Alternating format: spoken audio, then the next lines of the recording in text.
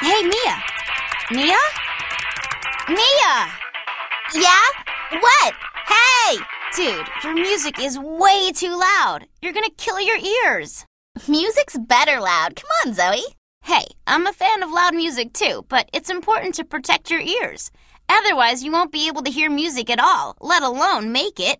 Listen. I'm all ears. Ha ha. But seriously, without our ears, the sounds we hear are really just vibrations. Well, when we listen to music, I can feel the vibration of it sometimes. Yeah, that's what sound waves are. The different parts of the ear work together to interpret the sound waves and send them to the brain so it can tell us what exactly we're hearing. Different parts? Like earlobes? well, the earlobes are part of the outer ear. The outer ear is all curvy and windy. Its shape helps funnel sound into the ear canal.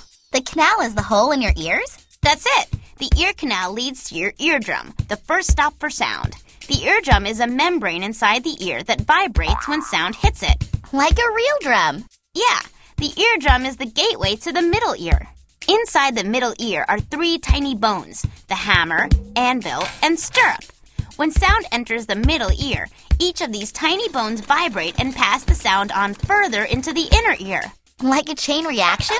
It kinda is. Now, the inner ear is a bit more complex, with lots of little passages. Like a maze? A lot like a maze. Deep within that maze is the cochlea. Reaching the cochlea is like reaching the finish line for sounds. The cochlea turns the sound waves into signals that are sent to the brain's hearing center by your nerves. The brain's hearing center? Yep, it's a special place on the outside of the brain. When a sound enters the hearing center, our brain tells us what the sound is and where it's coming from. Ah, yeah, a drum. Some guitar. A horn. Sounds great. Guess my brain's hearing center's working pretty well. Mine too. And my inner ear is helping out with something else too. Huh?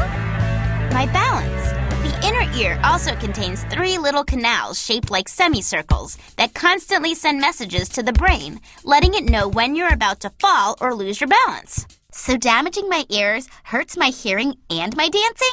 Yeah, and neither one of us want that. You already have two left feet.